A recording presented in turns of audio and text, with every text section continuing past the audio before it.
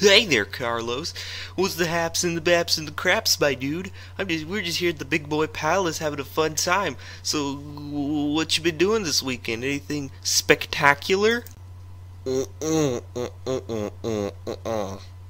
You know, I get what's going on here, Carlos. You ain't talking to me because I'm taller, dude. I understand this certain tall racism aspect, but this is not how it was when we first met Carlos.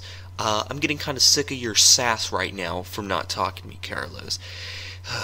I expected more from you.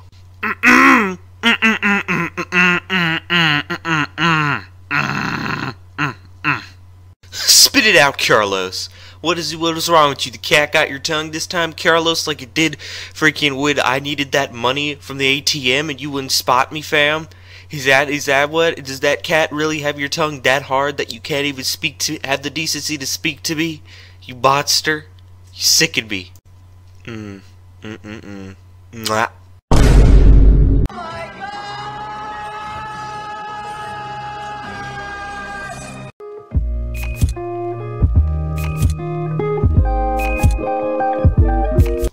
Yeah. Yeah, I get it.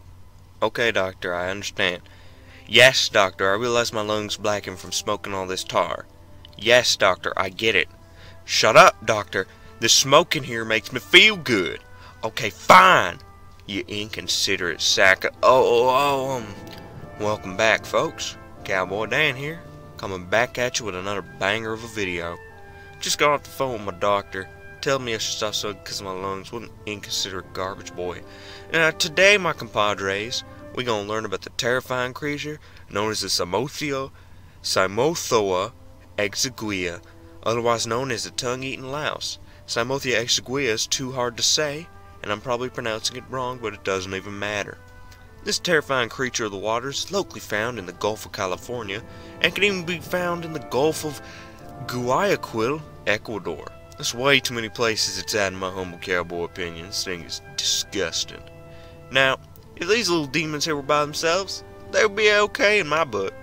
But these varmints enter fish through their gills, and then attach themselves to the fish's tongue.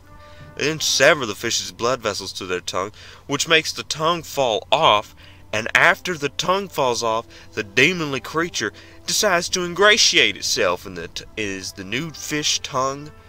Oof, disgusting creature. The strange thing is, though, once this little louse has entered, has replaced the fish's tongue and entered the mouth, you know what I'm saying? The fish is okay with it and uses the parasite as its own tongue like nothing ever happened. Fish really are not the smartest creatures in the book.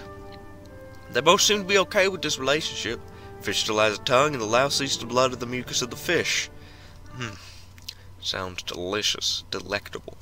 Now for some numbers. I know we all hate numbers, but I'm a cowboy. Gotta give these numbers out. Now, this daemon is hermaphroditic, meaning it can change from male to female and vice versa. Very, very strange. You need to get out of my country with that. Females can grow to be 29 millimeters long, and the males can grow to be 15 millimeters long. Oh, ugh, disgusting.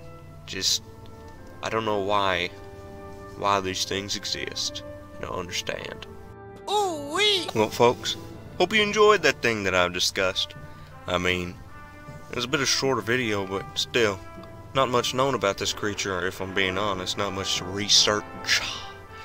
Well, I hope you enjoyed it because I surely did. I need to wash myself off somewhere. Maybe in a lake, a pond, somewhere. Even the ocean.